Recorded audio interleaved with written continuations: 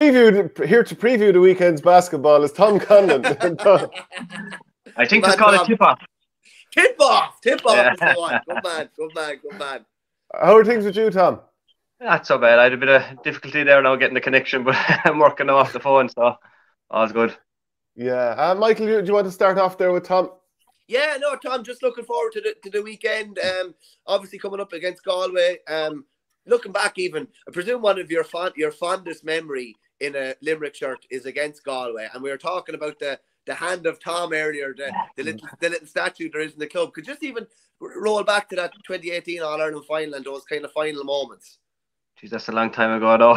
um, yeah, but look, I suppose between ourselves and Galway, like we always had titanic tussles, like, and I suppose the seed was set earlier on in that season, um, in the league uh, decider when we played them above in Salthill. When we came, I think we were eight, was it eight or ten points down? I think we were at half time, and we came back to win the game, like, and that kind of got the momentum going for us that year, set the ball rolling. Like we, um, I say, we got promoted, and then we kind of grew as the year went on. And uh, as I said, then we met them again in the All Ireland final, and I said the rest is kind of history. But yeah, look, Galway have always been kind of our, I suppose, would you kind of say our bogey team the last couple of years. Like they're always able to match us with, with whether it be the league or the champions championship or stuff like that. So like you know, it's it's going to be another ding dong battle now this weekend. Is that a physicality thing, Tom? That you think that they're able to match up with you particularly well physically, or what do you think it is? Yeah, I think like physically and uh, skill wise as well. Like you know, they, they're all well able to hurl. Like and God, whatever it is about up in Galway, like uh, they're just able to produce these big men. Like I know James Skehill does beyond there from time to time. Like he's a big man. Like and I said most of the the Galway lads they're big, over six foot tall, like and strong, almost like uh, farmers, as you call them. Like you know, to be able to throw you around the place. But like, look, physically, they are, I suppose, the one team that can match Limerick when you go to that middle third, I presume, like Joe, the, even last year in the Ireland semi final, like it was just an absolute war, like, and there were just bodies everywhere and just hits going in non-stop, like, and I suppose if other teams, if they if they take anything from that, is just the physicality that that, that Galway have brought to match Limerick, like, and, and I suppose they've been the closest team to Limerick over the last couple of years. Tom, um, when Michael Verney brought up earlier on about this little bust or statue of your hand, I thought he was messing. Is, is he serious? And what's it made of?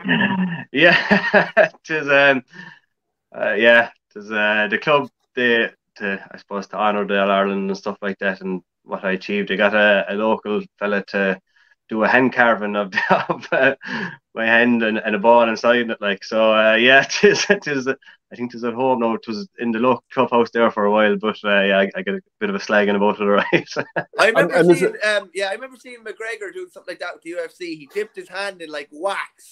And, like, is, that, is this? Are they literally coming up to your house and like putting your hand in wax, or what's the story? No, I, I, I think as far as I know, he did it just looking at the picture of okay. of, of the All Ireland final, like of, of that, that still a picture of me catching it. Like, so I think he, he based it off of that now. In fairness, there's, there's, there's some piece of work, like, but uh, yeah, this is a bit of a slagging about it, right? yeah, and sure, a hand you're very familiar with as well. yeah. what was I going to say, Tom? Is it made, is it timber? Is it a timber carving? It is, yeah. It's, it's, it's made, I think it's made from, I think it's made from oak or as far as I know, I'm not too sure now, but yeah, it is the hand, the hand itself, the, the sculpture itself is timber, and then um, the there's a, an actual proper sliotar now. It's not the one that I caught in 2018. That was Tom Morrissey took care of that when He put it into Rose but um, no, they, they, have they have a sliotar put into it. Yeah, it is, and I think it's in a glass case now as well. So do you, um, go ahead. No, I was going to say, do you remember the feeling of catching the ball? Like, so the whistle still hadn't gone, but do you remember the feeling of catching it? Yeah, and when you're on the pitch, you don't have much time to think. Like it was just literally just get this ball out of here. Like we kind of knew it was the last play, but like it was just to make sure we just kind of got it out. So the first instinct was just to run, and and to, to, you just always knew that one of the lads would be dropping back there, and like I said, the half hours are renowned for like dropping deep. Like so, Tom Morrissey was just there, so to just give it to him and let him go run with it for a while. Yeah, yeah, and like, sorry, Michael, you seem to have a question. No, but can you believe, Tom, like what's happened on the back of that? Like, it's it's mad. Like just getting over the line once and ending that kind of famine, and look like he could have easily won it in 19. I was slagging Shane earlier. We were saying it's 19 is the softest All Ireland, softest All Ireland one in a long, long time. I don't get to comment on that, but can you believe what's happened since then? Like it's for a county that's been, you know, pretty much starved of success. To see what's happened, you know, since that catch, since that last couple of minutes of the All Ireland final in 18, now like you're going for what you've won four in five years, you're going for four in a row. It's unbelievable, really, what the spin off of it. Yeah, and like I always believed if we got to an Ireland final, like being involved with Limerick since 09, like I always believed if we got to the final that we'd win it.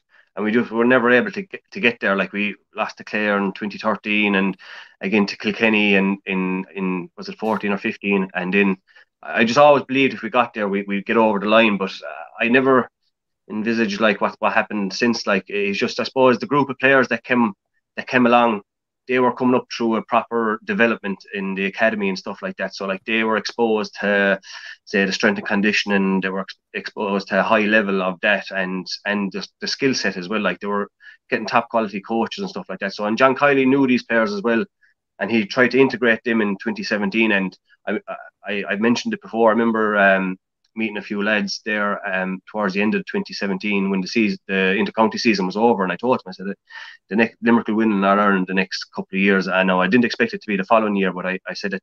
It, it, Joe, the makings were there of, of a great team. Like, and I said, these young fellas that came on in 2017, they, they, they've just taken the hurling to a phenomenal level. Like, and look, that's down to John as well, and, and Paul Kinnerk and the whole backroom team. Like Paul Kinnerk, his coaching is just there's no words to describe it like and it's everything is is game based orientated like and everything he does is with a purpose you're not running laps or you're not running to one for the sake of it it's everything you do in training you you you match it on the field like and he was always a believer of training 120 or 30 percent above what the tempo or the intensity would be in a match like so when it came to a match you were able to do things comfortably and even like you know Limerick are renowned like for I suppose, attempting these impossible passes and short pass in triangles and stuff like that to get out of situations. And I suppose Paul just encourages that in training, and you, you do it at such a high level in training that when it comes to a match, it just comes at an ease to these lads. Like, and as I say, he's coaching. It's these guys are only getting better because they're doing this day in day out, like training. So as I say, from 2018, it's just taken off. Like, but I, I think as well, I suppose there's been a turnover as well in other counties as well. Like Joe, some of the stalwarts or the the star names have kind of Joe They've gone to the stage of their career now where they were at the wrong side of 30 and they're kind of retiring and stuff like that. So there was a bit of changing going on in a lot of counties. I suppose that had brought back the count or that that, that has kind of propelled Limerick further ahead because they already had that done in 2017 that a lot of young fellas brought in. And now you see John Kiely, he's kind of integrating one or two young players a year now, like just to keep that rolling. Like, but it was just that we got an influx of, of great players, and I suppose a great management team in 2017, and it's just we're reaping rewards now, and we, we just don't want it to stop. We would have taken one in 2018, but look, we won't complain. And Tom, like, so when you're talking about uh, Kinnerk and Kiely first coming in and changing everything and the games-based training and uh, you know that kind of stuff, the results didn't come in the first year. And I was down in Nolan Park when you lost that qualifier, and I didn't think you'd performed particularly well that day. And I remember thinking at the time, three times during the match, there was Limerick players pulled on a ball that was on the ground that they probably could have gone down on. And I just thought it was so odd, even though I could see some players were classed, like Peter Casey and so on. But did you believe straight away? And at first, when these different types of activities were brought in rather than the old school drills going from maybe cone to cone, I'm not trying to do down any previous management, but like, did you at first think, well, I'm not sure about this? yeah, and like um, I suppose it just took time to embed the game plan and the style of play that Paul wanted us to play. Like I suppose, look, Limerick would probably renowned for off the cuff hurling or Joe Gung Ho hurling and stuff like that. And like I remember Paul Kinnerk pulled me up at one stage there early on in 2017. We were playing Waterford and uh, I got a shot puck out off of Nicky Quaid, like, and I was about, I suppose, 45 yards out from my own goal. But I turned and I, I thought I had a chance to shoot, and I took a shot. And I remember he just run in, and he was just there, like, no, Tom, that's no, no, just no. And he ran away like, and he was just there, play it through the lines, play it through the lines. So it took a while for to to integrate into uh, their game plan with the players, like, and I suppose there was shoots of it there throughout 2017, and I suppose we didn't bring that from the training field to game day in in a few of the games, like, and it, that was kind of frustrating because we knew we could actually do it in training, but it was just to bring to bring it onto the pitch on game day was the thing. And I suppose we didn't do ourselves justice in, in 2017. But I I think that kind of stood to us because it, there was a lot of learning in it, and fellas could see what Paul was, was and John were trying to implement it, it within the, the, the, squad and stuff like that. So I suppose it, it did give fellas hope, like, and you could see that there was something there was something happening there, like. Yeah, Mike Casey was at one of our coaching clinics in Naas not so long ago. I'm looking forward to Barry Hennessy and um, and Pat Ryan going to ones as well in the next little while. But is there is there any sort of drills that really stood out to you and you were like, okay, I can see this working, or drill that you like? Can you kind of give us an idea of some of the activities that you're like, geez, this really helped us out or helped me as a player? Um, we always just kind of slag like that. He most of the drills were forward orientated. Like there was uh, a it was worst case scenario for the backs most of the time. Like so, like you'd have maybe small drills. Like there was there was never drills involving mass numbers. It was always maybe eight at a time in a pod and stuff like that. So like you might have had three forwards taking on two backs and the ball's being pinged from out the field. Like and it was just it was just worst case scenario. The, the forwards were trying to work goals and stuff like that. So you it, it just encouraged you to communicate, to come out of your comfort zone. And as I say, like it was you, you were operating at a level that way higher than what it would be uh, in in game day. So like I say, uh, everything was kind of worst case scenario. A lot of small sided games to in, improve your touch and, and your reaction time and stuff like that, and and and basically to bring up your intensity eh, for for that. Like, mm, Michael was Paul very good? Paul's obviously a very intelligent fella, Tom, like particularly intelligent. Um, but is he able to dumb down his message, shall we say, to make sure that everybody's able to take it in and know exactly what he's doing? He he doesn't strike me as the sort of lad that's using jargony type of language and coming out all these uh, terms that you'd be reading on Google Scholar or all these different documents. You know what I mean? He's he's able to dumb it down quite well, is he? Uh, he is, and I suppose look, he, he got a bit of a stick there um, with the water breaks. He used to bring out a tactics board, like, and I say he, he he uses that the whole time. But it, it's just when you he and like it was the same simple message the whole time. He'd show you visually, he'd tell you exactly what to do, or like he'd he'd he'd go one on one with you, know, not a bother. He'd take the backs individually, forwards, midfields. Everyone knew their job, whether and even if you were a sub, even if you're number thirty six, you knew that if there was a chance that you did make the, the game day uh, panel that you knew that you if you did come on if you come on half back corner back or whatever like you knew exactly what you had to do like so it, no in fairness he look he, I, I, he's very intelligent but he did explain everything like precisely exactly because uh, Paul would be very atten- attention to detail kind of fella like mm. and how much do you think you improved as a player just you know, even if you weren't starting quite as often as you were towards the latter end, but like as a player, did you think you came on a lot and in what ways? Definitely, and uh, I suppose look, you do know yourself in training if you're going well or not. Like, and in fairness, I, I did feel like I that I suppose the hurling and the fitness it did it did go up a couple of levels. Like, and you, you as I say, you know in training if you're going well or not. And like there was times throughout the year I, I did think, oh yeah, geez, I'm going well. And in fairness, John is, is very true to his word that way. Like if you, if you're going well in training, he will give you a chance in matches and stuff like that. And, and they're very like that. If, if they base everything off your form and training, if you're training well, if you're doing things right, and you know your attitude is right, you'll get the opportunities. And look, I suppose age wasn't on my side either. Like you know, they, they brought on all these young fellas and they were trying to I suppose, you know, integrate them into it as well and give them game time. So yeah, look, I suppose I didn't get as much game time as, as I would have liked, but look, that's sport. You you kind of move on and you kind of have to get on with it. Mm. Just on what Shane was saying, Tom, you probably played some of your best hurling throughout the 2019 league. Would I be right in saying? Remember, did you get? I think you got. Did you get a score against Kilkenny down in Nolan Park? I think you scored. Did you? Yeah, you that, that, that's right, yeah. as well. Yeah.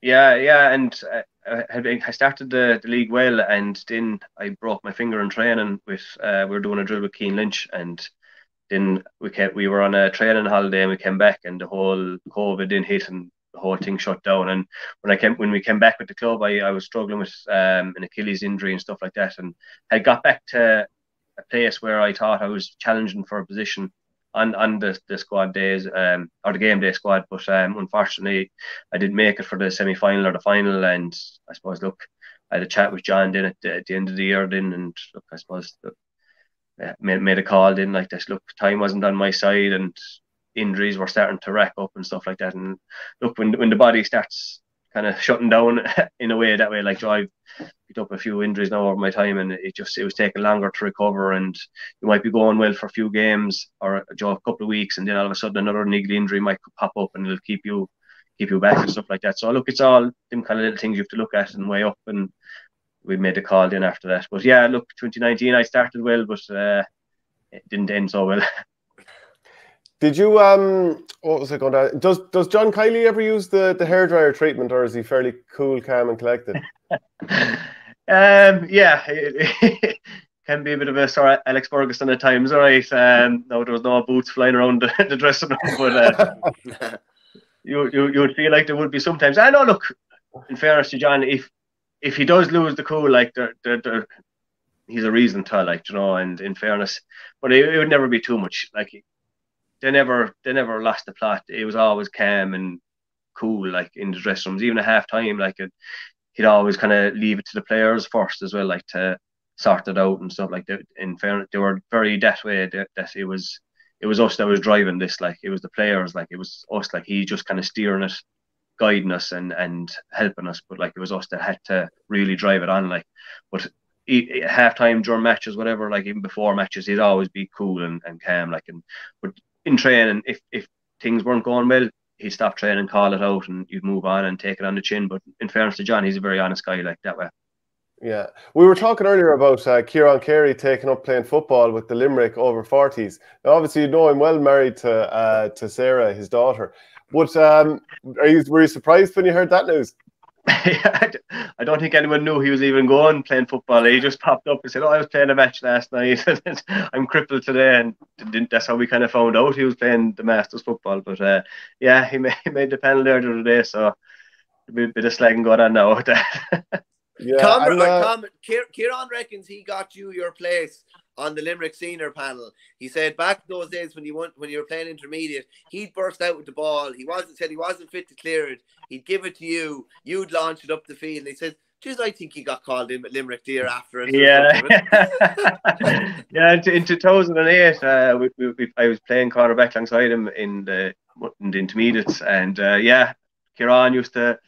Kieran was towards, I suppose, the end of his career, but like he used to just go up, tip down the ball, and Kieran would never go too far. He just used to just pop it out to me or or the other uh, back, and we used to just launch it. And I actually, I think I got, uh, I think I got uh, intermediate player of the year that year. Like, and I, it was based on just getting ball off of Kieran and just launching it. oh, was so, that how you ended up meeting his uh, his daughter Sarah? No, I, I didn't meet her till uh, 2013, 14, 2014. Okay. So yeah, that, that was few, that was a few years later. So it was uh, it was ironic, really. and a good player in her own right. Yeah, geez, and uh, like she's we've had a couple of children there the last couple of years, so she's had to take time out and stuff like that. But uh, she's back playing Quogue, you know, uh, with the club this year, and she's she's after taking up a bit of uh, long distance running and mar- she's going doing the half marathon and stuff like that. So yeah, she uh, I say she's getting the itch again to go back. Who has the better touch if, you, if you're going out pumping at the side of the house? Who has the sweetest well, just watching her there the last couple of games, I would say she she definitely has the better touch at the moment. Anyway. and uh, do you have uh, boys or girls? Uh, we've one boy, uh, Nicky. He's six, and we've two girls. They're one and a half and six months. So busy, right. busy house. so the girls aren't poking ball just yet, obviously at that age. No, but, uh, no, no. The young, the young fella is all right. He's he's playing hurling. And he's playing football, uh, soccer as well. Like so, we're keeping him active. Lovely. He's loving it, is he? Oh, he is, yeah, and he's he's playing with uh, Patrickswell as well. So uh, yeah, no, he's, he's he's loving it. Met met for no met for games and going up to game. He, he keeps asking when are we going to Dublin again. Probably not too long. How do you think Limerick will go this year? Like chasing four in a row, which has only really been done a few times in the history, Kilkenny and Cork. But this Limerick team, like, will they get on as the best ever if they actually do it this year? Yeah, look, as I say, we would have hmm. taken one in 2018, and what's happened since is, is just bonus territory. Like, but I suppose when you when you step back and you size it up and look at it, you're there like there, there is there's another one or two All Irelands there for the take, and it, and it's it's I think personally it is Limerick's to lose themselves, like if they get too complacent and stuff like that. Because as I say, most of the most of the closest teams, they're kind of new managers or they're trying to integrate new players. So like there's a small bit of catching up to do, I think. But uh, yeah, I, I think Limerick are still the standard bearers this year, and if if they win it this year, I can't see anyone stopping them um, the following year. Like you know, it's I suppose like it's it's it's testament or it, it's the, all credit to John and Paul for keeping that hunger there as well. Like because it's I suppose Kilkenny can testify to this. Like it's hard to keep that going like for so many years, year in year out. Like you know, and, and to come back and keep winning. So like if they do win it, yeah, they'll be borderline. I suppose they'll go. There's still another step to go to to reach the, the best team, I suppose, of all time. And um, who else do you think's in the mix this year? Yeah, I suppose. Look, Galway, Galway, I think have improved after finding a couple of new players. I think, like, um, and physically, I think they're they're the team that can match that can match Limerick. But again, look, anything can happen on on, on a given day. It's it's, it's just it's a, I suppose they say it's a, it's a two horse race like but um if if Limerick have an off day they can be caught to happen in 2019 I suppose we, we were we were I suppose confident going into that game and look it signs on it just shows like that we were a small bit off off the mark and Kilkenny took full advantage of it um I suppose Cork seemed to be Joe Cork always have the I suppose they have the players and whatever it's just sometimes they just never seem to bring it on game day and you know they, they, they go they always seem to start very well in the year in the league and stuff like that, but it, it seems to fade when it comes to championship. I, I don't know, is, is it is it a mental thing or, or what is it? Um, Waterford, Davy factor, you know, anything could come out of Waterford, you know. And again, I, I I think it just it bodes well for an interesting campaign. Like, and I, I think I think it'll be a Limerick. I'm going to nail my colours to the mess now. I think it's going to be Limerick Galway final. I think. I, I, right. I think boil that boil down to that. And uh, like after that sideline in 2019 that um, you know was deflected out by Cillian Buckley and it wasn't given, you, you would have had a chance with a 65 to level it. Was that the kind of like once that happened, that's when the era of the short sidelines came in? And I'm not even sure have Limerick gone for a score from a sideline since. Yeah, and like you, in fairness, you always would have backed Darragh Donovan to to put it over. Like I see, he's very good at them. Like and I suppose look, Paul is is, is very um, numbers based, percentages and stuff like that, and I suppose they looked at the numbers like how many times are you realistically going to score from that? Whereas would you be better off better off to retain possession and work a score? And I suppose that's where a lot of these you see most teams now are, are going for for short sidelines. Like you know, unless now you have someone phenomenal like Joe Canning, you know, that's able to put a ball over from 65 yard and you know it's going to go over. Like Joe, it's it's all kind of retain the position and, and try and work a score from there. Mm. And did, did it take a while for you as a player to get used to the idea of, you know, the way you, you grow up, especially like, you know, being a little bit, uh, you know, from the era that maybe the three of us are from, you grow up and you're like, set fire to the ball and let lads at the other end of the field deal with it. Whereas he's probably coaching you to be composed on the ball and take the extra second and, and not panic.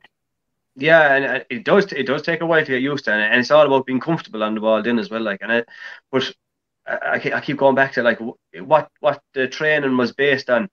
It made you comfortable on the ball, you know, because you were exposed to such a high intensity in training and worst case scenarios that when it did when when you did get on the ball that you were more composed and you were able to make these decisions better like you know and, and that's the difference I think for Limerick at the moment is that they're a lot more composed on the ball than other teams like and and they'll just keep recycling it and pa- they're comfortable passing the ball around. They're, they're not afraid to do it. They're not afraid to lose possession and concede a score. But they'll keep trying it. They'll go again.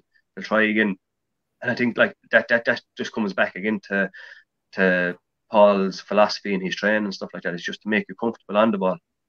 Mm, Tom, Tom, you mentioned there about um, Shane kind of asked you about whether John used the hair dryer in the dressing room or whatever. You know, as various little controversies or problems have arisen over the, you know, throughout his reign or whatever, he seems to be very good at nipping things in the bud. Um, and it looks like the Moon Tour or the principal comes out in him quite quickly in that regard. Would that be fair to say? Yeah, and look, I suppose it's it's better to stop it quick before it grows and manifests into bigger things. Because a lot of these things grow legs, and you know stories get added to and stuff like that. So I suppose look, John is very good at there at just I suppose, uh, media management there, like John, just nipping things in the bud and coming out and saying it as it is, like, and let there be no um, hiding places or Joe So like as you say, you can see the, the, the kind of teacher coming out in John there, like that he's very good in those situations. I suppose. Look, he's he's dealing with these situations day in day out. Like, but um, yeah, look, these you can't hide away from these things. They have to be addressed and they have to be um, you know met head on. Can I just ask you as well? Um, were you in the Limerick dressing room long with the likes of, we'll say, Burns and Lynch and Hegarty and these lads and the Morrisseys until you realise, geez, the mentality of this boy, these boys are a bit different? Or, or is there anything that stands out where you're thinking, geez, this lad, these lads are bringing something completely different to the table here? They're changing the the mentality even within our dressing room. Yeah, I, I, and uh, I remember Richie McCarthy has has referenced it before as well. Uh, we were in a kind of a psych meeting with Caroline Currid and stuff like that, and this I think this was 2017, and Richie Richie passed some comment about uh, yeah, hopefully now we we win the weekend or in two weeks time or something like that. And I remember Tom Morrissey just kind of turned around and he kind of said, "What do you mean? Hopefully," he said, "I'm here to win and I'm here to to win medals and stuff like that." And it's just kind of geez, these boys actually, Joe, they're actually above their their age bracket, like Joe, they're, they're, they're, their head screwed on, like they, they, they know what they want, like, you know, and they, they, they weren't long piping up nipping Richie, like, and we were saying Richie McCarthy is probably like you know, a hero or whatever yeah, at that yeah. stage. And it, it, you, this, these young fellas coming in saying, what are you saying? Like, you know, we're here to win medals. We're not hoping to win. Like, you know, we, we're going to win. Like, you know, that, that was their, always their, uh, their mentalities were, we're actually going to win. Like, you know, so I say, you, you, you saw that in a few of the psych meetings that we had. Mm, okay. They haven't, they, ha- they haven't been too far along in the time that's passed since. No, uh, and uh, like it's it's just crazy what what these lads have won. Like even from underage and through, like to, to, the list just goes on. And as I say, I was on just I was referring to hunger there earlier on. Like these, these boys are just they just want more and more. They want to win as much as they can while they can. Because look, I suppose when you're gone, you're gone. Like and you can't go back. But that, that's their mentality. They want to win as much as they can while they can. And just the final thing for me, then, Tom. Uh, you mentioned having a lot of injuries, especially as you get a little bit older. Are you doing much hurling yourself these days, or is the body allowing for it? Yeah, I, I, I went back. I signed for St Patrick's uh, Patrickswell soccer team last year, and I kind of made, made dust what my sort, ankles. of a, what sort of signing on fee was involved there now? There's more so to get me out of the house. but uh, yeah, I, I picked up a bit of a nasty injury there. I, I have to get uh, kind of two pins put into my ankle. But I've been kind of putting off the operation now for a while. But uh, I went back and I played a bit of club hurling last year, right? Um, after the first round, I, I, I said I, I couldn't just sit by and, and watch it. So I said I'd uh, I went back training, and strapped it up, and played a few games. And yeah, no, I'm hoping to I'm hoping to play again this year now at the club. I, I started uh, uh, over 35 soccer actually there last week, so I'm feeling old now at the moment. Would you not be one of the younger lads in there, no? Uh would you be one of the younger lads though at the over 35? I, I would, be, yeah, yeah, it would be like so. It was actually by chance one of the lads from the club said to me, "We're playing a bit of an over 35 league there. Have you any interest?" And I said, "All right, go on." So I said, "I'll, I'll give it a go." So came through the first game all right anyway. So happy out. Happy days. Well, look, Tom, really appreciate having you on the show. Uh, great old fun, and sure, hopefully we'll do it again. No matter. Thanks very much, lads. Cheers, Tom.